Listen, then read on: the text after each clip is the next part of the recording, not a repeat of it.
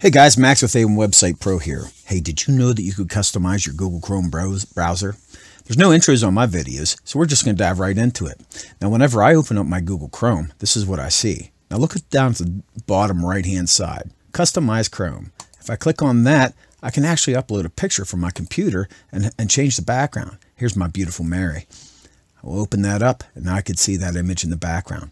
It's that fast and that easy to change. Okay, let's go on to the next part. Now, if I wanted to use a different image, I would just click on the little pencil icon down at the lower right-hand corner here, and then click upload from this device and maybe choose a different image. The other thing that I could do is whenever I come down here to, to click the image, I can use one of Google's uh, images that they have in their library. So if I click on Earth, Click done, you can see that I could have this background. The next thing you can change is the shortcuts that you see down here in your Google Chrome browser.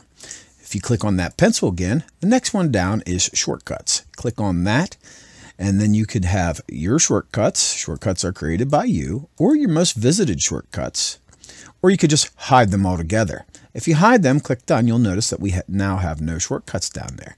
If you want to turn them back on, just go back to shortcuts and then click My Shortcuts and click Done. If you want to edit a shortcut, all you would have to do is hover over it and when the three dots appear, click on those three dots, click Edit Shortcut, and then you can edit this to go wherever you would like it. If you just need to remove it, you can hover over it, click on those three dots, and click Remove. And now you'll notice you'll get Add Shortcut down here. Another interesting feature that Google decided to include in the customization of their browser is the fact that you can add cards. Now, what are cards? Well, they're recipes and also like if you leave something in your uh, shopping cart somewhere online. So to navigate to that particular feature, click on the little pencil icon, come down to cards, and if you have hide all cards, you want to switch it to customize cards. And if you turn on recipe ideas and your carts, you will see what's going on here. So let's click done.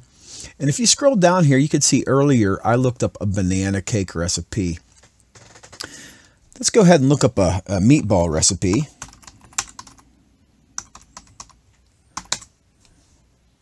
And if I could spell recipe, let me click on easy meatball recipe. And we load this up in my browser and I'll accept all the cookies. But uh, we'll go ahead and wait for that to totally download from this lady's site. And I'm just not going to allow any data tracking. But I'm going to bring up, oh my, the ads. Okay. So let's go ahead and click up on a new, new tab. And if I scroll down, you can see now I am getting meatball recipes. Here at eBay, you can see at eBay, I have a cart. But uh, if I go to ebay.com and I scroll down here to my account. Maybe I want to uh, purchase some capacitors. And I'll go ahead and choose the quantity. A 10 pack. And then I'll click add to cart. You can see that it's adding, adding it to the cart. And I'm just going to close out. I'm not going to check out here. Let me close this lady's uh, website. Now, let me go ahead and refresh my browser. And if I scroll down here, you can see I still have, I can navigate to my eBay cart by just by clicking that little uh, icon. And you here you can see that I made my way so that I can indeed check out and get this. Okay, that's another cool feature for the Google Chrome browser. And so once again, to get there, you click on your little pencil icon and you come down the cards and if you don't, if you want just want recipe ideas, you could turn off uh, your carts. If you just want your carts, you could turn off recipe ideas, or you can hide them all together. Click done. Okay, so let's talk about colors and themes. Now, if we look at the top here, we can see that we have this bluish uh, color. Let's say that you wanted to change that. Well, you would go down to your pencil icon once again and right here where it says color and themes, and notice whenever I click these different ones that the colors will change. If I click the purple, I get a kind of like a purple, click the blue, a different kind of blue, the green, and so on and so forth. I kind of like the darker ones, so I'm going to choose black. And then I'll select done and now you can see that I have the black color. Now the other thing that you could do is customize the theme. To customize the Google Chrome theme, all you would do is navigate down to the pencil once again, come down here to colors and themes, and you notice here that I have the slate theme installed. And if I click on this to open it up, you can see that I have this slate theme installed. Now, if you navigate to the uh, link in this post, it's going to show you where you could go for tons of themes on the Google Chrome store. So you could grab any one of these themes, and I'll show you how easy it is. Well, you just use this light rose colored one. I'll click on that, select Add to Chrome, and notice how it changes everything instantaneously. If I open up a new browser, you can see I still have my background image, but now I'm using the rose theme that Google Chrome has. But now that's all well and good, and it's real easy to change things around. You can change your background image uh, if you followed me in this tutorial. But what if you wanted to do your own thing? Well, that's what we're going to talk about next. Okay, to do your own thing, it's just as simple as going to this website right here. It's called themebeta.com. And in here, you can upload an image, you can generate colors, and then you can pack and install. And I'm just going to go uh, over a short tutorial with this. On this other tab right here, you can see that I created a earth tone theme. And I'll share it with you guys on the web page that's listed in the description of this post. But here you go. You could start by uploading an image. So let's grab an image, possibly this image of fire. Okay, so that's going to be our background image. And maybe we just want the, them to generate colors off of this image. And so that's a pretty cool color generated off of this image. Now we could select pack and install, or we could go ahead and customize it a little bit more by clicking on images. Now, Whenever we hover over, for example, the frame, notice how the frame will turn red up here. And if we hover over toolbar, the toolbar turns red.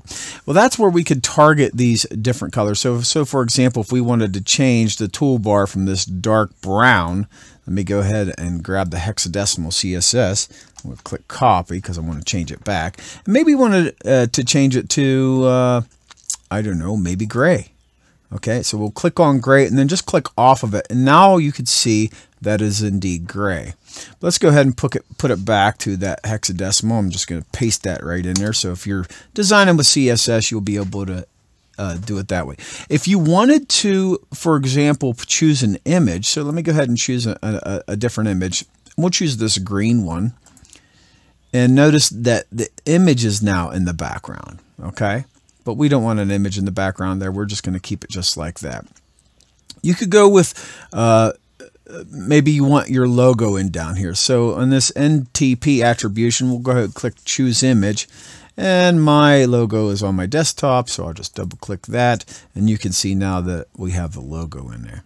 If you wanted to do uh, customize the colors a little bit more, you could go to this here. And if you hover over the different colors, you could see that uh, it'll start turning red. For example, if you see this little chrome right here, background tab text, notice how it turns red. And then you could just uh, change that color to whatever it is. Okay. And then finally, whenever you're done, you could go back to where it says basic. You could click pack and install, or you could click on this pack and select pack and download. So we'll go ahead and download this theme. I'll click save put it in my downloads folder. And the next thing that we need to do is bring up another tab and we want to go to the three dots over here, go down to where it says more tools.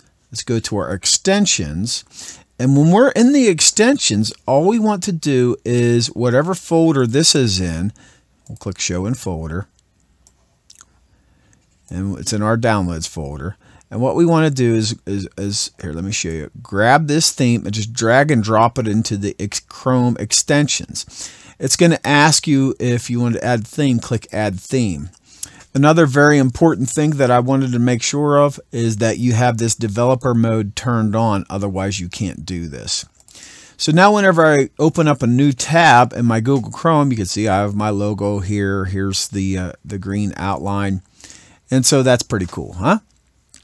So that's all you have to do. And if you go to the uh, web page in the description of this video, you'll be able to design your own, put your own backgrounds, and so on and so forth. Uh, if you need any uh, help or you have any questions, comments, or concerns, please uh, put them in the comments below or go to the web page, comment there, like, share, subscribe, blah, blah, blah.